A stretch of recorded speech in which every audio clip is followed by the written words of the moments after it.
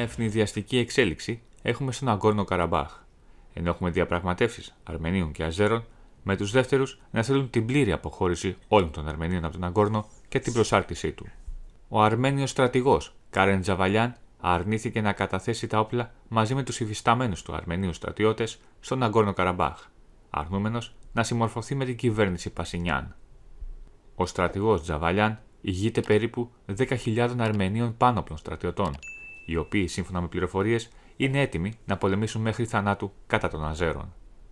Ο Αρμένιος στρατηγός έχει κατά νου τους 300 του Λεωνίδα και προτιμά να πέσει στα βουνά του Ναγκόρνο παρά να παραδώσει το έδαφος της επαρχίας αυτής στου Αζέρους.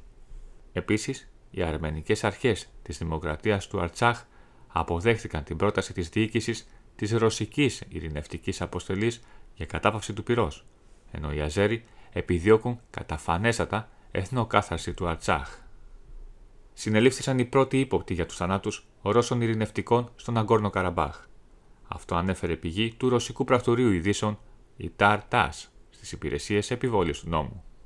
Χθες, τζιπ του ρωσικού στρατού δέχτηκε καταιγιστικά πυρά αυτόματων όπλων από την πλευρά των Αζέρων στρατιωτών, που είχε ως αποτέλεσμα τον θάνατο 8 Ρώσων στρατιωτικών, μεταξύ των οποίων και ένα συνταγματάρχη, υποδιοικητή της ρωσικής δύναμης στον Αγκόρνο.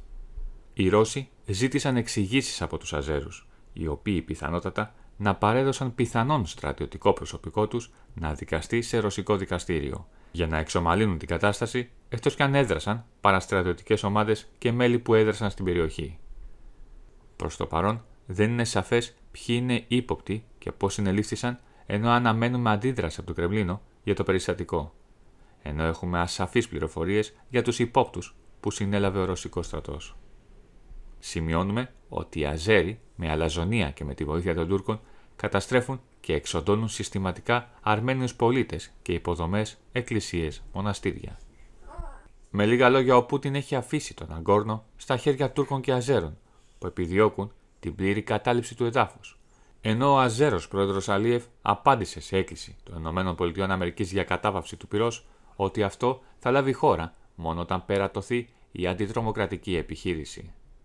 Η Ρωσία έχει ενεργή συμφωνία ασφαλείας με την Αρμενία, ενώ Ρώσοι στρατιώτες έλεγχαν τις περιοχές του Αρτσάχ, στις οποίες επιτίθενται από χθες οι Αζέροι, χωρίς να τους σταματήσει κανένας. Ευχαριστούμε που μας παρακολουθήσατε. Για να λαμβάνετε πρώτοι όλες τις νεότερες εξελίξεις, κάντε like και εγγραφή στο κανάλι μας.